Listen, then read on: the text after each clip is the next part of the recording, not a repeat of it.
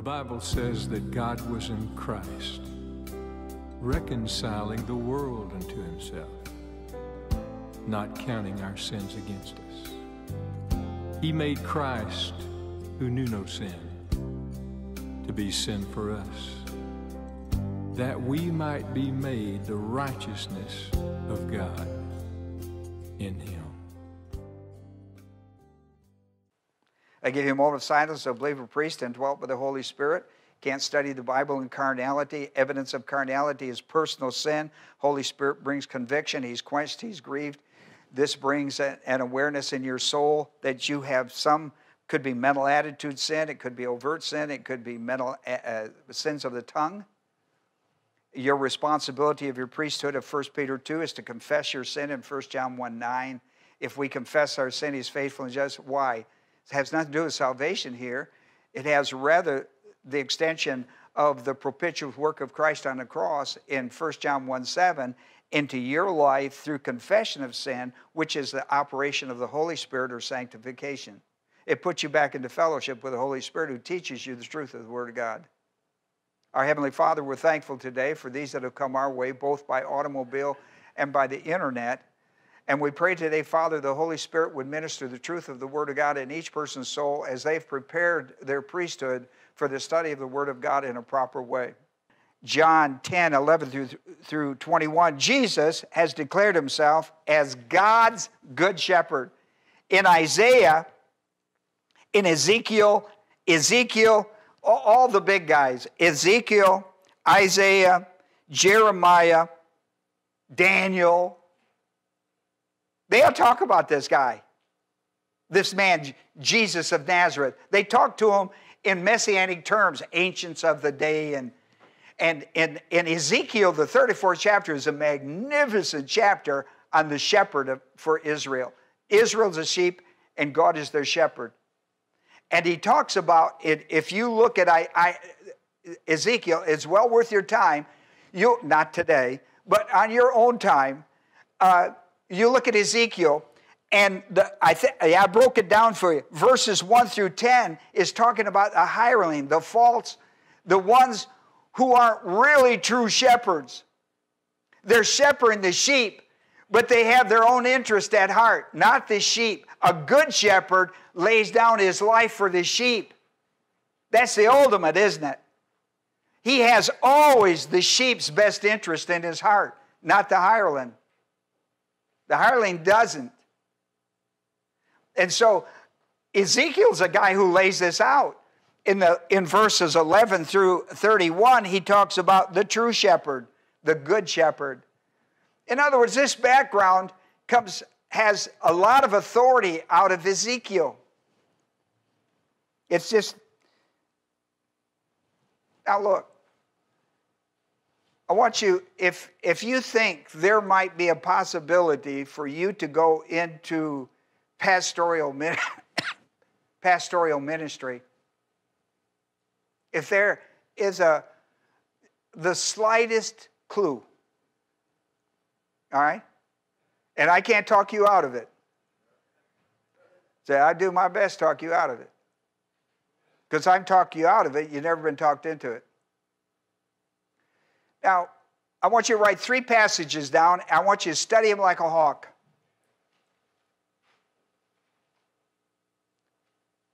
I want you to put down 1 Timothy 3 1 through 7. I want you to put down Titus 1 6 through 9. And I want you to put down 1 Peter 5 1 through 4. And I want you to study it like a hawk. Because that's your qualifications. That's the examination that God gives you to qualify you to be a pastor teacher. You may have the gift, but this is what qualifies you to have the office. And listen, you need to be honest with God because while you can pull the wool over other people's eyes, you can't pull it over the good shepherd's. He's familiar with wool. So you can't pull it over his eyes. So listen. Just because you got some wild hairs and think that maybe I want to go in the ministry, you need to see if you qualify for the pastoral ministry.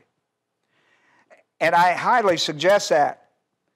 And listen, you need to write them all down and take a good, solid, hard look at them. There's a lot of in there. Listen, he never examines anybody like this. You could have the gift of exhortation, you could have the gift of whatever. But if you're going to stand up and teach the authority of the Word of God with the gift, and then take over the office, both of these are required of you.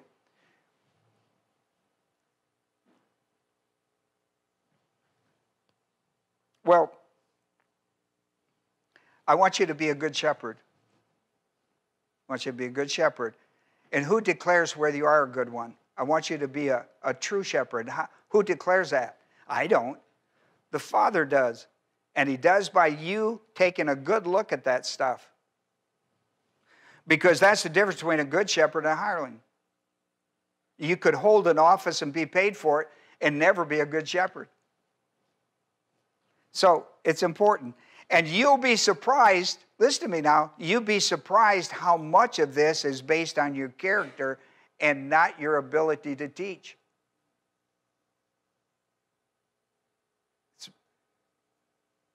You could be a very good teacher and not be qualified to teach. You think you're qualified because you have the gift. You're not qualified unless you have the character to represent the word that you're teaching. Think about that. That'd keep you up at night. In today's lesson, we will learn that the Good Shepherd laid down his life for all mankind. But yet, it's only those who believe who are benefited by it in time and eternity. Did you get that? Now, he died for, he died for everybody. But only those who believe are going to be benefited from his death, both in time and eternity. That's made very clear in uh, the ninth chapter, verse 38, when the man who was healed said, I believe. That's true in John 3:16, for God so loved the world that he sent his only begotten son into the world. Right? When you believe, you receive when you believe. This is the message of the entire book of John. John is the one that declares the grace principle saved by grace through faith and not of yourself. It is John that pushes this idea. Well, one of the things I would like to have you do, we read through the study. I'd like to show you how I saw this in order to get my study. So I want us to I want us to go back and take a look at the way I broke this text down in order to bring a lesson called the Good Shepherd. One of the things I saw in verses 12 and 13 was the danger to the sheep, and the sheep don't know it. Danger to the sheep. You know who does know it? Is the shepherd who cares for the sheep. The danger to the sheep Listen, there were two. In this story, in this part of it, there's two. There's an inside danger and there's an outside danger. There's an inside and outside. The inside da- danger is called the hireling. The outside in this text, the outside is the wolf, right? The wolf comes, the hireling flees, and the wolf snatches the sheep.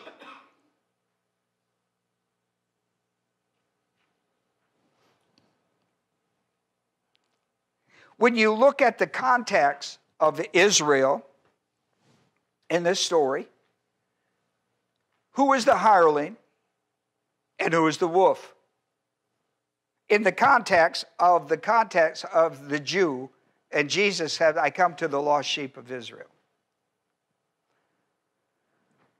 The wolf, in context of Israel, would be Rome.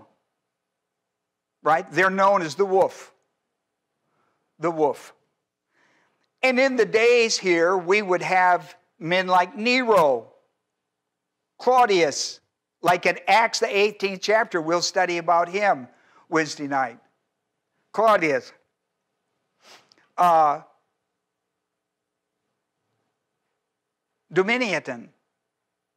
Uh, that would be uh, Domitian uh, would have been with uh, John in John's day. Um, this will give you an idea about the wolf. So there was the wolf from the outside. Will actually will actually bring a fifth to Israel, and of course there is the wolf on the inside. Who is the? I mean the hireling, the person who, when push comes to shove, will leave the sheep every time. Well, that's the Pharisees. There, this is a, a, a is a hired Jew watching the sheep, not a wolf. A wolf is an outside this whole idea. And so here's the thing. Let me, just because on Tuesday night we're studying eschatology right now, let me share something with you about, because we're talking about the wolf and the lamb, right? The sheep. We're talking about the lamb. Talking about young sheep. In Isaiah 65, uh, somewhere around 25, in talking about the millennial age, what's he say about the wolf and the lamb? They'll lay down together. They'll play and lay down together. That's a millennial age. That, that ain't, that ain't going to happen until we get there. Because uh, you know who's driving? Both these two forces are being driven by a demonic force, and the demonic force always blames the good shepherd.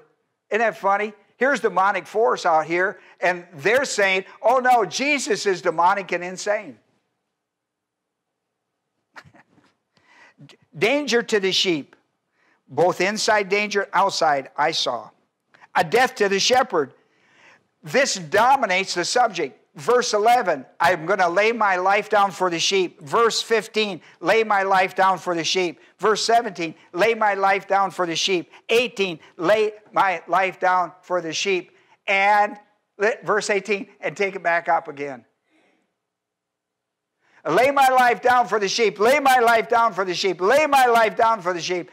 And take it back up too for the sheep. That's pretty powerful stuff there. That's about as much gospel as you can get. I mean, did he not pound, pound that idea? There's your gospel. Different sheep. He introduced a prophecy, a prophecy that is good for the church. In John, John did this another time. He introduced, he slid in a prophecy that's, that's apropos to the church in John, the seventh chapter, 37 through 39, when he talked about an artesian well inside of us, the Holy Spirit would be on the inside of us, flowing the abundant life out of us. Remember that? That's a prophecy to the church. Now he's given us a second one. And listen, he's just priming the pump because when we hit chapters 12 through 12 through 17, he's going to dump a bunch of it out. He's priming, well, farm boy, uh, priming the pump. But this is the second in John's book that has been a prophecy to the church it, it, it, when it had no sense to them. Different sheep, sheep out of this fold, a prophecy for the church. Divine authority. In verse 18, I want you to look down there for a moment. He uses the word authority in the English, it's exousia in verse 18. No one has taken it from me, talking, I lay down my life. No one has taken it from me. I lay it down on my own initiative, my own free will. I have authority to lay it down, but he tells you where his will is. I have, I have my own initiative. I, I can do this he had a free will. You know what he did with it? Same thing you and I should do with ours. He put it under the sovereign will of God. Your will is never going to work good except under the sovereign will of God. And you know how I know that? Because of the rest of the verse. Look at verse 18. No one's taken it from me. I lay it down on my own free will. I have authority to lay it down, exousia, and I have authority to take it up again, exousia. But this commandment, this commandment I receive from my Father, it is His sovereign will, therefore mine fits under it. I lay down my life for the sheep because that is the Father's desire, that is the Father's will, and that's good enough for me. Think about that. Think about that. Because that's the way you and I should live. And you know what? Now, listen to me. When you do that, it makes your life so much simpler and easier. And when you don't, you just stay so frustrated. You're in the oh, woe is me stuff. Submit your will to the will of the Father and be content. Jesus says, You know why I lay my. Listen, no man takes it from. Don't you love that idea that he understood that? No one has. No one has a exousia over me except the Father alone. Listen, understand that. Nobody has authority over your life except God alone. Nobody has power to, to do things with your life that's not part of the sovereign will of God. But listen, listen to me now. You've got to submit yourself to the sovereign will of God. And when you do, He'll take charge of that.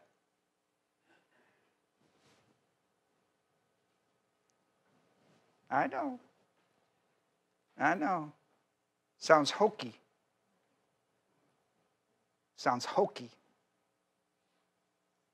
But I'm telling you absolute truth. Jesus said this is how it works. This is how it works in my life as a son of God. It's the way it works in your life as a child of God. It's the way it works.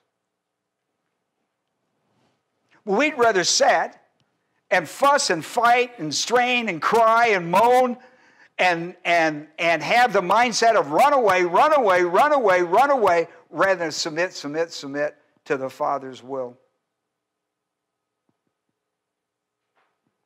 Quit trying to be in charge of something you're not in charge of and you know it. How about being in charge of something you do know? Be in charge of submitting to the will of God and let God deal with it.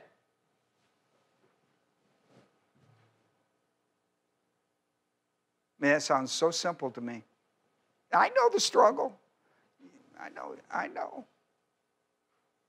Give it up.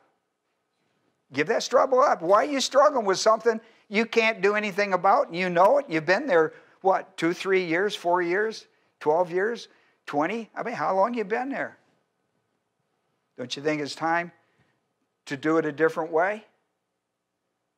Put it under His sovereign will. Let him take charge.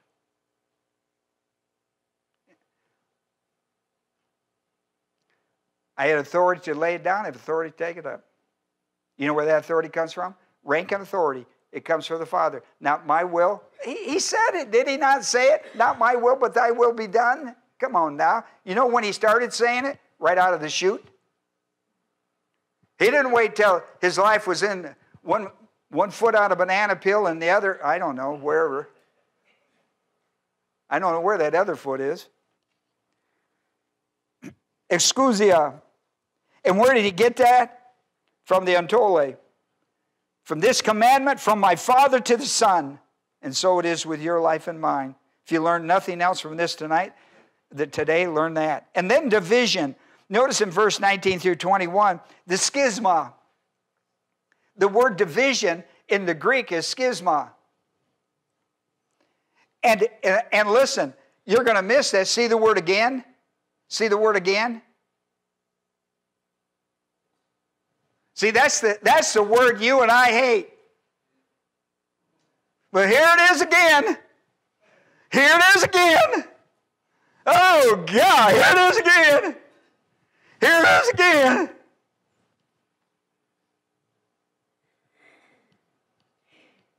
Listen to me. That's a good thing. It shows you're on the money. It shows you're doing something right. It shows you that you're in the game, that you're a player. or there wouldn't be all that stuff.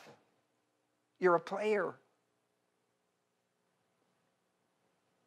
And you're a good player. How about that? Schisma again. In other words, here's a pattern of rejection. Here's a pattern of persecution. Here's a pattern in the life of this person. And why is God doing it? Because God has a divine will for your life. You're not paying attention. You're sitting around whining when you ought to be submitting to His will and letting Him take control and let you sit in a bleacher and see Him play the game to win. You're playing the game and losing, and you know it, and you won't submit. You're just afraid to give up whatever power you think you have. You don't have any power until you submit it to the Father. All authority on earth and in heaven has been given to me. By whom? By whom? But where do you think your power to pray comes from? Where does the answer come from? Where does the power come from? It comes from the Holy Spirit of God. The answer comes from the Father. You can't do anything.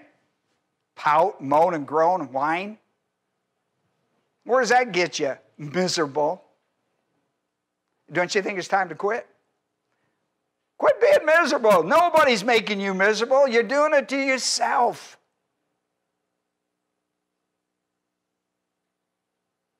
Let me tell you, the shepherd was good before he was a good shepherd.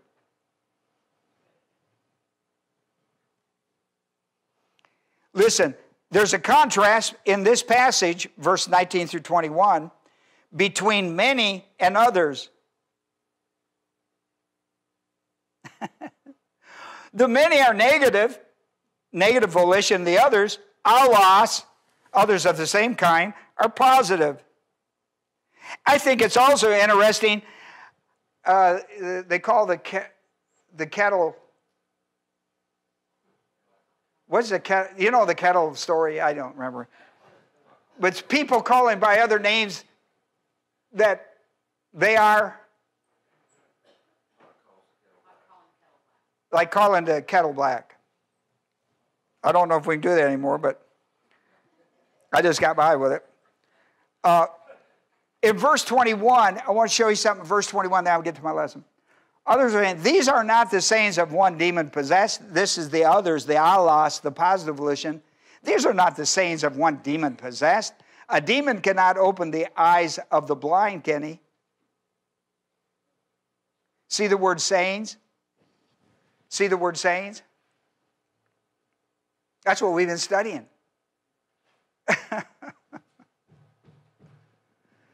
this is what we've been studying, others. Except that word saying is not Lego. The word that's used in verse 21 is rhema means the categorical doctrine that he's been teaching them, the principles of divine viewpoint that he's been teaching them. It's Rhema, it's not Logos. It means a category of thinking. Well, here's verse 2. Here's point 2. Oh, here's a good place to stop. No, I don't mean for the day. I just mean this is a good place for a stop and get a cup of coffee and something sweet and a little fellowship and then Come back to the under shepherd.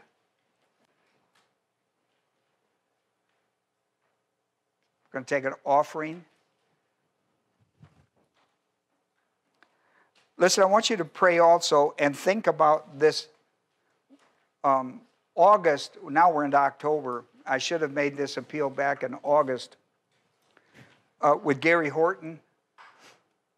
Uh, Gary, he's into his runtime now, and once school opens in September um, through this year, uh, the, the financial outlay to him is pretty heavy just to get from point A to point B. And so remember, Gary, both in your prayer for open doors and also this year, if you, if you, if you want to give a good gift to somebody, let me suggest you give some to Gary Horton. Uh, push a little envelope, send it to Gary. He, you can give it to us, we'll give it to him. Or you can directly give it to Gary. He's got a 501c.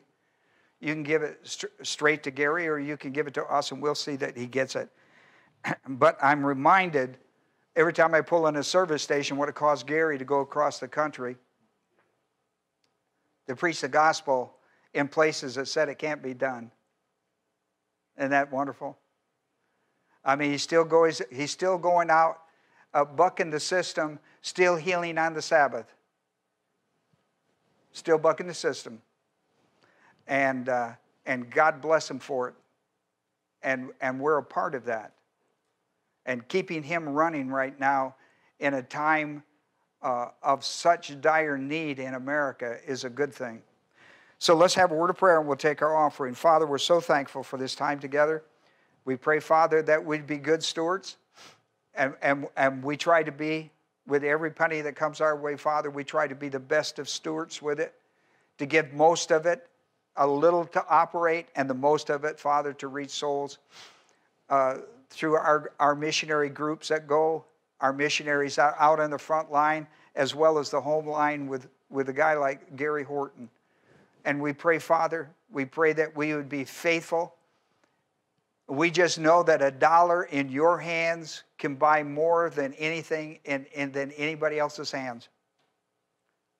It don't matter what, how good of shoppers we are. One dollar in the hand of God can be multiplied tenfold. We can't add it, we none of us can do that, uh, or a hundredfold. And that's what we love about giving. We've made our prayer in Jesus' name. Amen.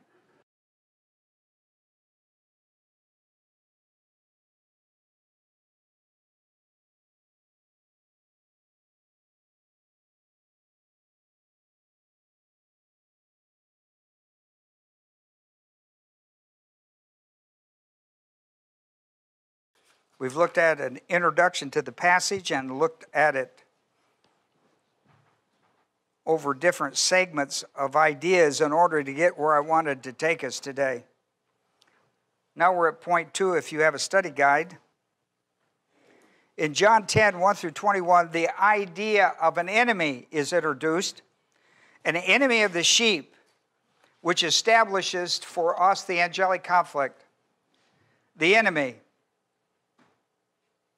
And this, chapter 10, uh, the verses 1 through 21, that's a prominent theme in this.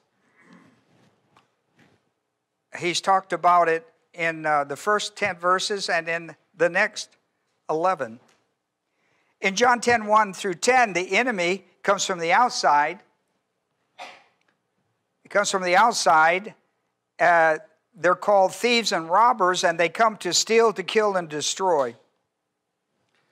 In John 10 11 through 21, the enemy is expanded to inside the sheepfold as well as outside. Inside, the enemy is referred to as, as the hireling, who flees in the face of crisis.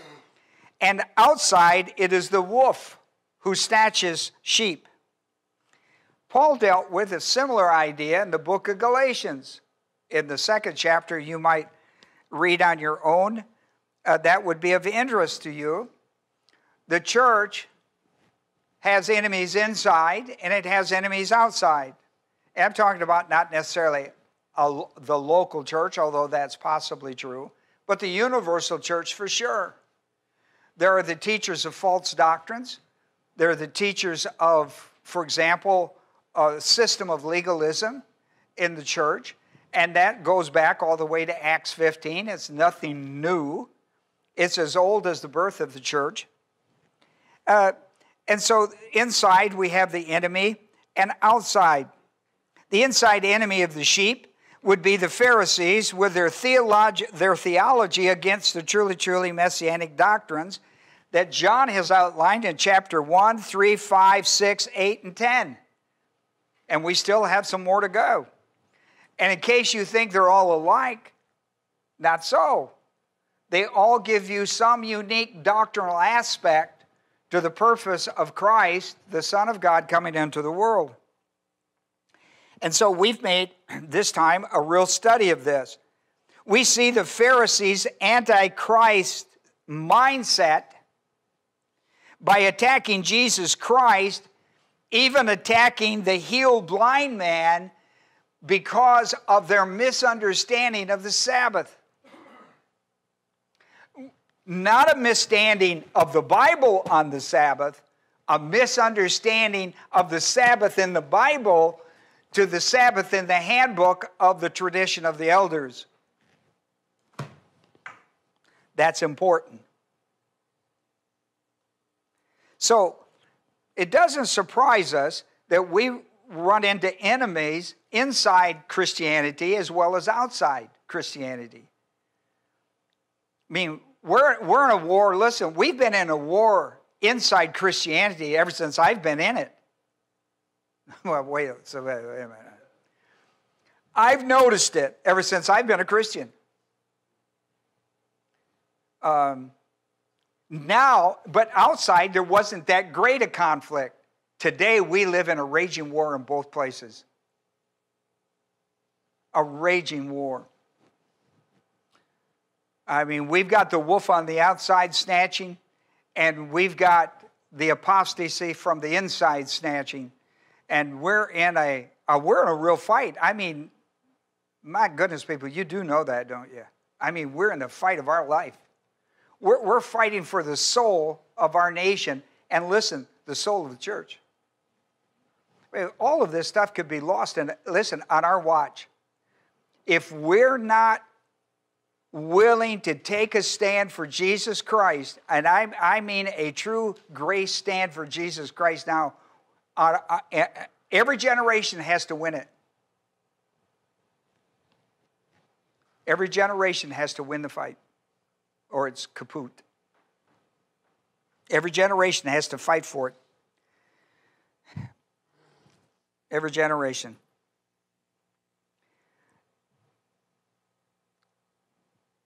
The third thing I want to talk about is the hireling shepherds forsook the sheep in the hour of crisis.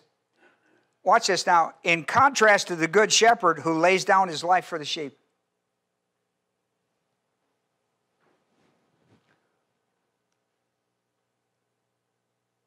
I'm always reminded of a very young David when I every time I hear this story, I just think about that. I mean, just young, but strong in the faith. Young in age. You might say, well, you know, he's just a typical teenager, doesn't, you know, just thinks he's above life and do all that. But listen, that's not that's not how David fought the bear, nor did he fight the lion that way, nor did he fight Goliath that way. He did, that wasn't his strategy. He didn't go in blind and dumb. And he went with his eyes wide open, trusting God. You know, listen to me. Here's what he did. He submitted his will to the Father's will, and the Father took control. That's what I'm trying to tell you. You read all these stories in the Bible, and they're magnificent. You know why they're magnificent and why there's victory in it? Because they, the person submitted to the will of God and put his will under the will of God. Not my will, but the will of the Father be done. And listen, you'll set and justify your your, why you can't do that, you'll set and justify it until you're old and gray and die. But there'll be no victory. Be no victory. I meet so many Christians who live defeated, depressed lives. It just amazes me. I mean, how is that possible?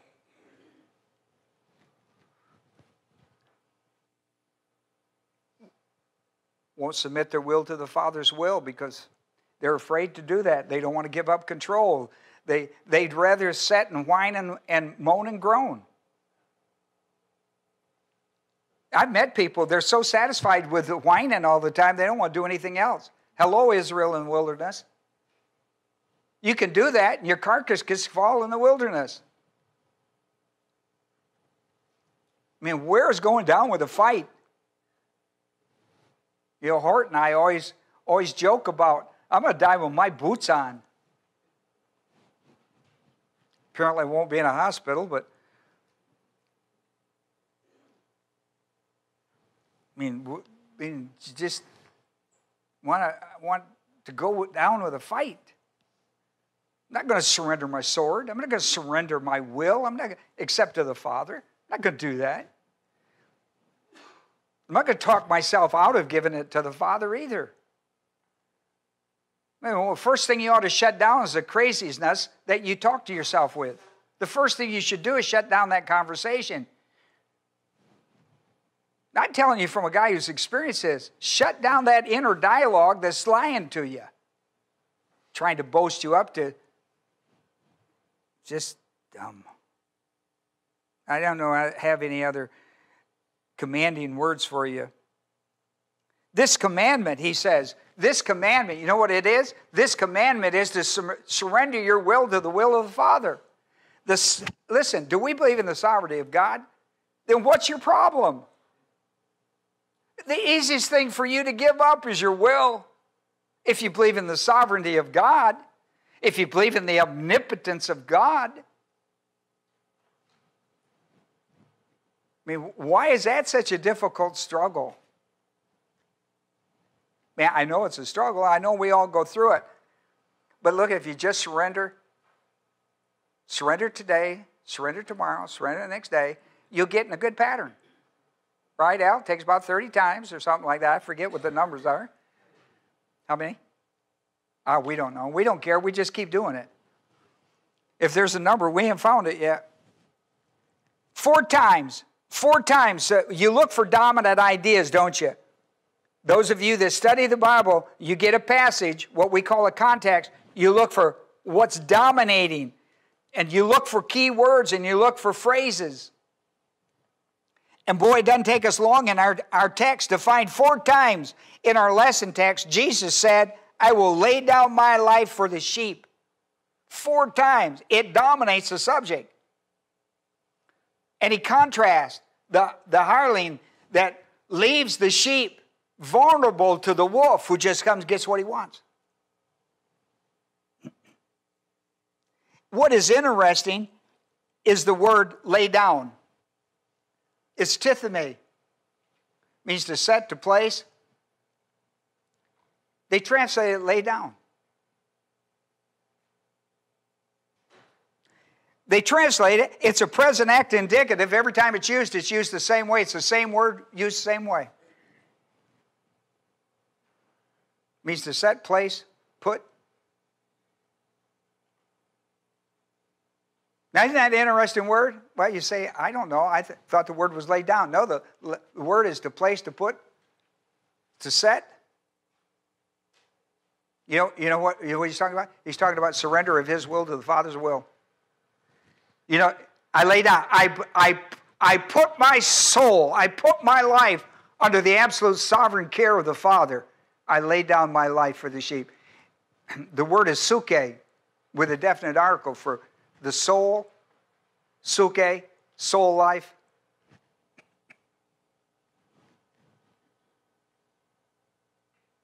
And he uses tithemi and he puts it in the present tense. He doesn't put it in the aorist tense.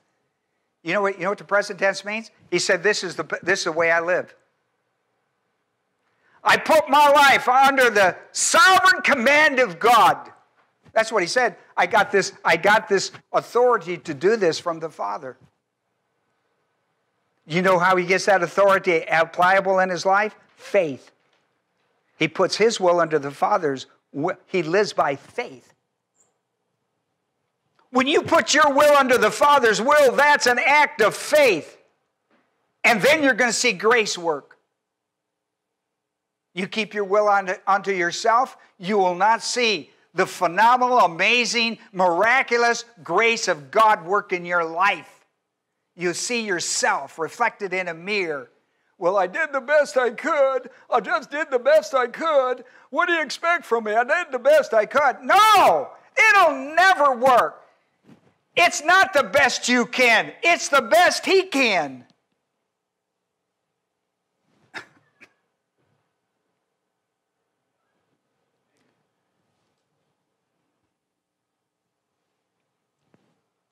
I'll tell you another thing that's interesting in this passage in verse 18. in verse 18, he says, I have authority, and he says it twice, and he says it identically. The word have is echo. He uses this word twice. Did you see where he says, I have authority? He says it twice in, in uh, 18. Put your eyes on it. Do you see it? I have authority. That's exousia. I have authority. He says it twice.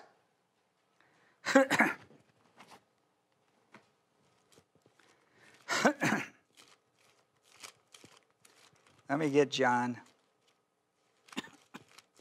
10, 18. Here's how it looks. After he says, No man, no man takes it, I lay it down. He says, I have authority. There's the first one. I have authority it down. Boom. And I have authority to take it up again. Now, he's got the same word as exousia. You know where he got that authority from? From the command of the Father. That's, that's divine authority. That's rank and authority, buddy. When you put yours under him, you have the sovereign authority of God overruling your life. You can step right into the midst and say, by the authority, by the authority, I have the authority. Do you understand that? That's, did he not just say that? Look, did I make this up? I have authority? Where did he get it? Where did he get this exousia? He tells you, this commandment came from the Father. To, did he not say that? Come on. You a child of God? Are you a son? Yes. You know where you get it? When you submit your authority to the authority of God, you can step into a crisis situation and say, I have authority to claim this by faith for God. I have the authority. You know where that comes from? Faith that God says, You have it. Trust me. You trust me. Here's what most of us do we don't trust Him, we try Him. We don't trust Him, we try Him. Come on. We try Him, we try Him, we try Him. We, we, we listen. Our job is not to try Him. Our job is not to test God. Our job is to trust Him. We got the easiest job. I have is echo. It's a, it's a present active indicative. That's an authority system. That's how faith operates, people. When, it, but when you say you walk by faith, that's what we're talking about. When you walk by faith, you walk about, I have authority. God has said to do this. I'm going to do this. And here's the consequences. It's up to God. I know it's going to go for, good for my life because I put it, my life in the hands of God. no man takes it from me. No one. And listen, the worst person is you. No one takes it from me. I never take it from him. I don't take my life from him. I surrender it to him. No one has authority over me. No one. And let me tell you, when he's there and the wolf comes to snatch you, he'll punch his lights out.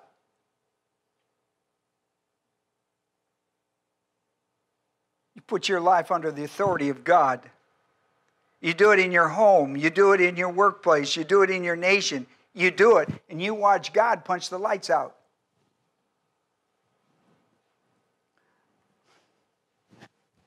David puts it on it. Here's a bear. Woo, woo, here's a bear. Woo. He could have went that way. He could have been howling and run and let the bear have the sheep. Look better him than me.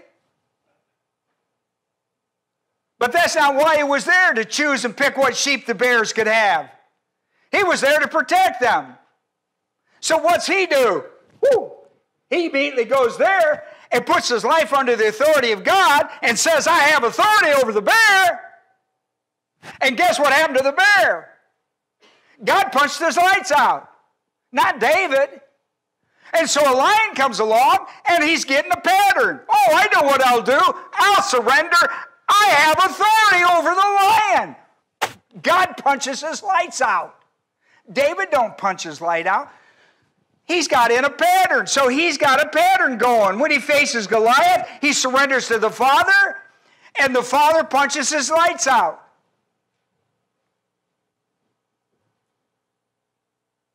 Do you not see a pattern working?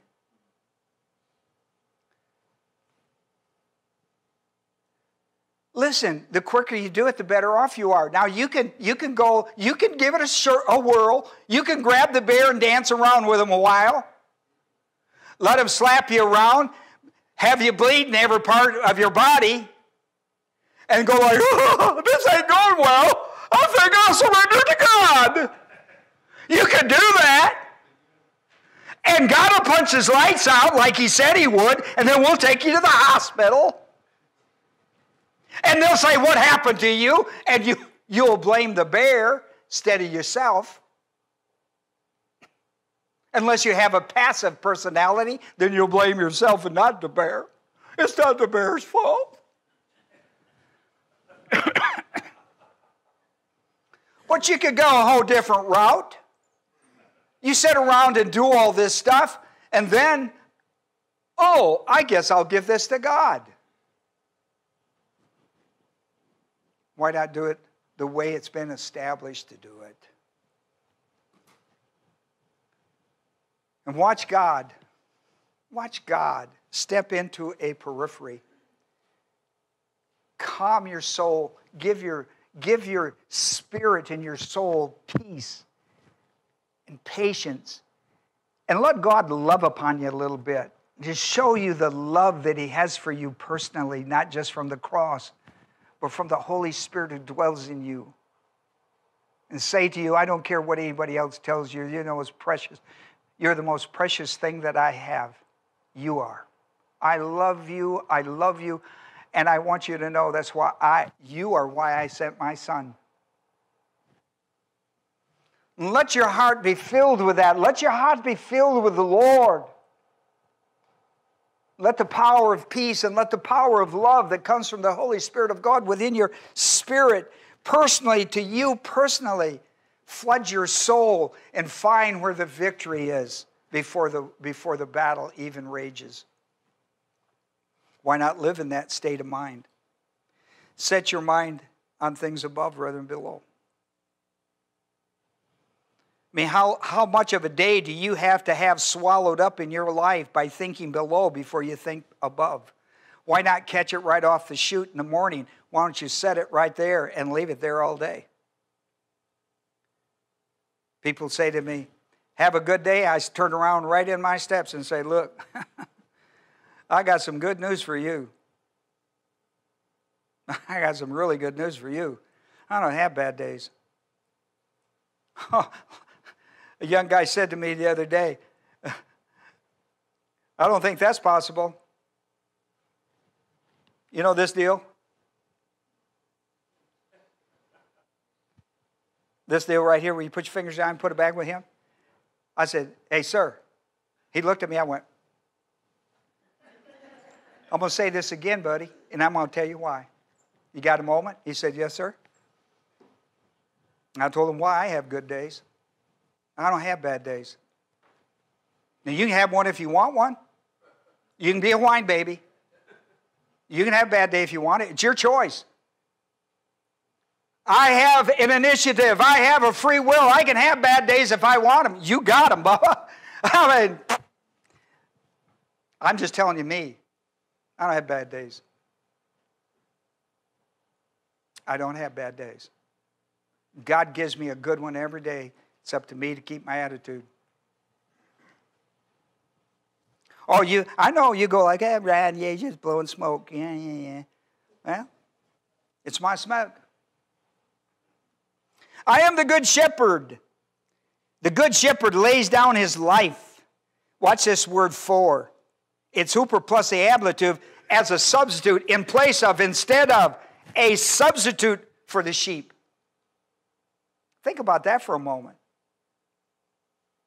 Here's the wolf looking over the sheep. He's got a little fat one, can't run too good. I got this one. Or he looks for a little baby over there. I got that one. I can get that. He, he, he's, he's watching those sheep, boy, huh?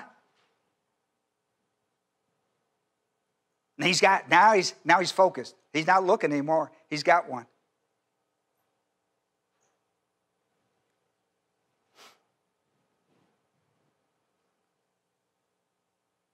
Shepherd, he watching that.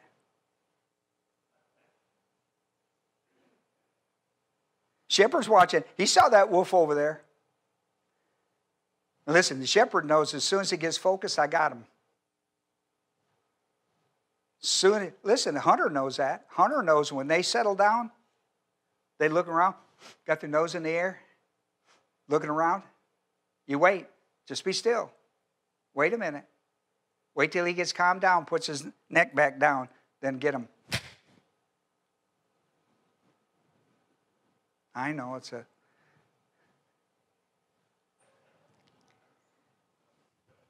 Did he just shoot baby? Did that pastor just shoot that baby? I know. Jesus was the only good shepherd who laid his life down and was also the sacrifice. Not only was he the good shepherd, he was the Lamb of God that come to take away the sin of the world. Does it get better than that? Does God not supply everything? What are you fretting about? He display, here's the shepherd, and the shepherd's a lamb. He's got it all wrapped up, one big package for you. All you got to do is believe in the Son, and you got the package. How good is that? Jeez. I mean, he's a wonderful God. Is he not a wonderful God? And let me close.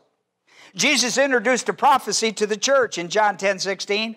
I have others, it's the word allos, others of the same kind of sheep like this, which are not of this fold. I must bring them in also, that they may hear my voice and will become one flock with one shepherd. Ah, boy, who are?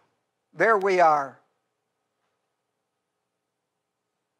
one flock with one shepherd.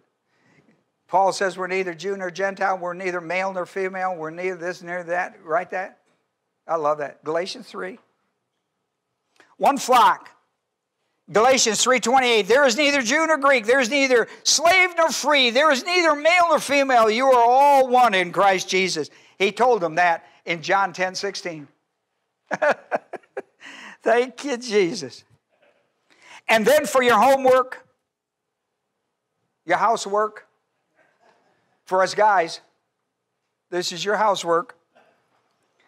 I gave you six messianic references to the shepherd of Jesus Christ God shepherd, good shepherd, great shepherd, chief shepherd, smitten shepherd, and the I tell you, this is lights out. You be sure to read this one. 1 Peter 2 21 through 25. Jesus said, Ron, I leave you an example to follow. Now, when I hear Jesus give me that kind of stuff, that's bank. That's, that's stuff you go to the bank with. That's not chump change. That's big stuff. I'm going to put that in the bank because I might lose it or get stole. That's not chump change. That's not a quarter I could maybe live without. This, this a roll of money. And when you read that, I leave you an example to follow. You're going to find at least three things in there that are dynamite, and they're going to deal with suffering. I love the first one. It said, there shouldn't be any sin of the tongue. When other, mother, when other people use their tongue to beat you with, don't return it. I love that one. Because I tell you, some of us are, we've had to learn that, by getting beat by tongues.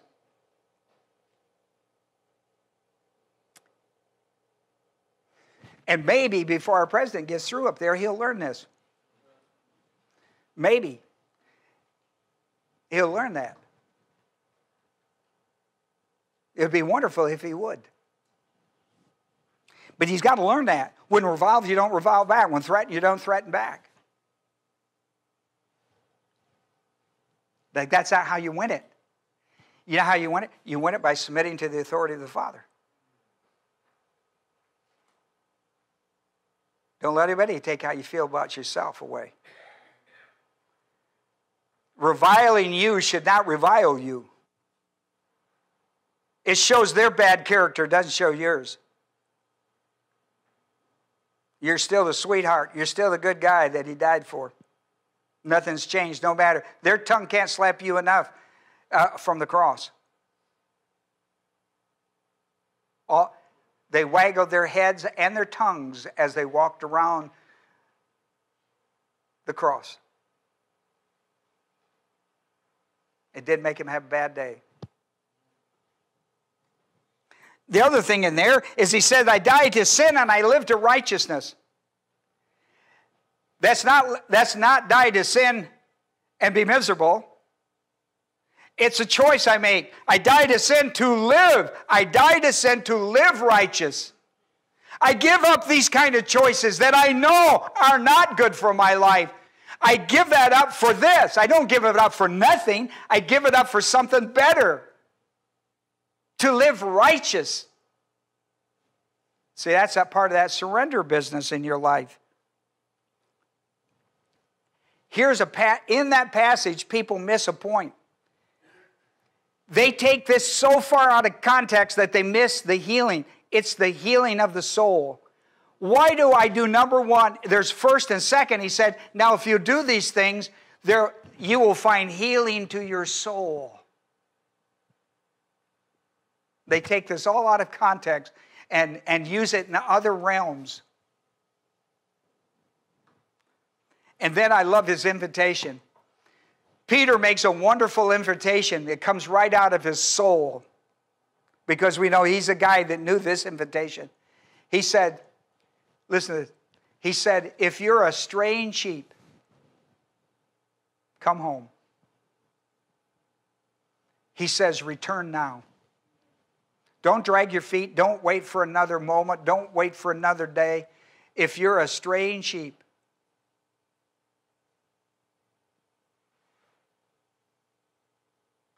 don't wait for him to walk out the door and look over and see you de- denying him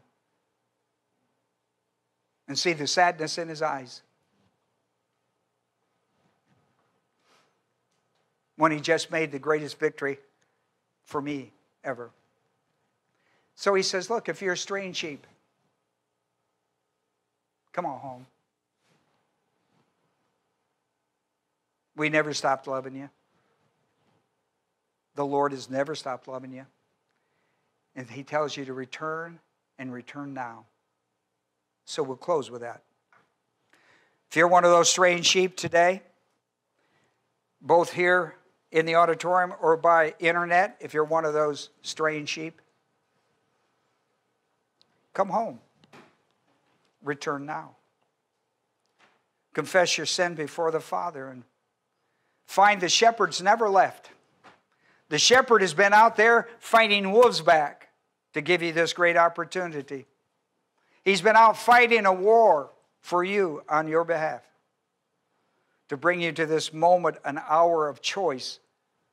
Stop being a strange sheep. Give up the sin you hold to to live for the righteous life that God wants to give you. Experience the righteousness of God in your soul on a daily basis, not just a one time on the cross and get you to heaven. See God work wonderful things in your life because you're willing to submit your will to His. Father, we're so thankful. We pray today, Father, as people have listened to this message and the appeal, both of Jesus Christ and the Apostle Peter, as he talks about Jesus Christ as the shepherd and the guardian of his soul. Peter said, I'm going to tell you, sheep, you ought to come back because he is the good shepherd and he is the guardian of your soul. Nobody cares for you like Jesus. Nobody. Nobody cares for you like Jesus. And we're so thankful for that, Lord. Thank you. And Father, in your name, in the name of the precious name of the Lord Jesus Christ, a name of which every name surrenders in time and eternity. For we've made our prayer in Jesus' name. Amen.